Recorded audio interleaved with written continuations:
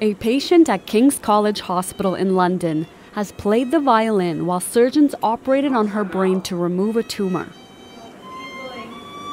Orchestra violinist Dagmar Turner played during the surgery. The unusual approach was taken to ensure areas of the patient's brain responsible for delicate hand movement and coordination were not damaged during the procedure. Turner was diagnosed with a slow growing tumor in 2013 after she had a seizure during a symphony. During the operation on January 31st, surgeons opened her skull and Dagmar was brought out of her anesthesia under close supervision to play the violin while her tumor was removed.